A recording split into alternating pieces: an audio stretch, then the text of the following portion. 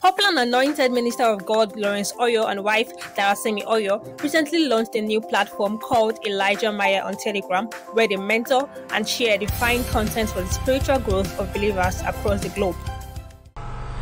Hello, my name is Lawrence Oyor. And I'm Darasimi Oyor. And this channel is designed to help you grow. It's going to give you an opportunity to observe our process Yes.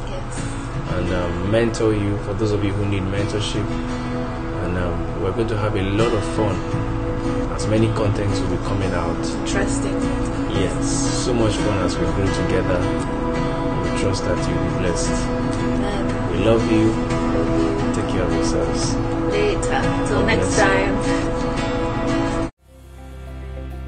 After they got married in November 2020, in February 2021, Lawrence Oyor announced on his social media platforms that he would be shutting down for the entire 2021 in order to evolve into an upgraded version of himself and ministry. and his face will not be seen on flyers for the rest of the year, though content will be shared from time to time on his social media platforms.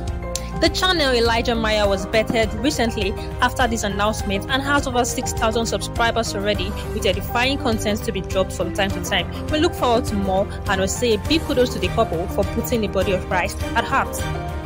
In other news, popular former secular singer D'banj and wife Didi Lineo who dedicate their lives to God under the ministry of Pastor Jerry Eze of Streams of Joy International Church. The former secular singer was seen in the church with his wife on Sunday, 16th of May, 2021.